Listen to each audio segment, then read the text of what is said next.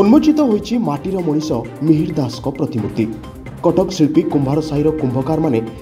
अभिनेता मिहिर दासर सात फुट्र यो प्रतिमूर्ति तिरि आज शिल्पी कुम्भार सार राज्य चलचित्र उन्नयन निगम अध्यक्ष कुना त्रिपाठी माटी मनिसको उन्मोचन गरि मूर्ति कािगर म श्रद्धाञ्जली र एभरि नियारा प्रयासको फिल्म जगत र वरिष्ठ कलाकार कलाकारमा बेस प्रशंसा गरिन्छ कारण शिल्पी साही र कािगर मह मिर दासको र सम्पर्क थाहा ମିହିର କୁମ୍ଭକାରମାନଙ୍କ ଉପରେ ମାଟିର ବନ୍ଧନ ନାଁରେ ଏକ ଚଳଚ୍ଚିତ୍ରରେ ଅଭିନୟ କରିଥିଲେ ସେହି ଚଳଚ୍ଚିତ୍ରରେ କୁମ୍ଭାର ସାହିର କିଛି ଯୁବ କୁମ୍ଭକାର ମଧ୍ୟ ଅଭିନୟ କରିଥିଲେ ସେବେଠୁ ମିହିରଙ୍କର ଶିଳ୍ପୀ କୁମ୍ଭାର ସାହି ସହ ଏକ ସମ୍ପର୍କ ଗଢ଼ି ଉଠିଥିଲା ସେପଟେ ମିହିର ଦାସଙ୍କ ଏହି ପ୍ରତିମୂର୍ତ୍ତି ସହ ଚଳଚ୍ଚିତ୍ର ଜଗତର ଦିବଂଗତ ବିଶିଷ୍ଟ କଳାକାରମାନଙ୍କର ଏହିଭଳି ପ୍ରତିମୂର୍ତ୍ତି ତିଆରି କରି ସେଗୁଡ଼ିକୁ କଳିଙ୍ଗ ଷ୍ଟୁଡିଓରେ ରଖିବା ପାଇଁ ଆଲୋଚନା ଚାଲିଛି ବୋଲି କହିଛନ୍ତି କୁନା ତ୍ରିପାଠୀ ଆଜି ମିହିର ଦାସଙ୍କର ତେଷଠିତମ ଜନ୍ମଦିନରେ ଏହି ପ୍ରତିମୂର୍ତ୍ତି ଉନ୍ମୋଚିତ ହୋଇଛି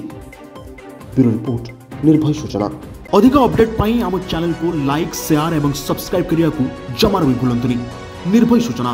निर्भय सह सब आपण को साथी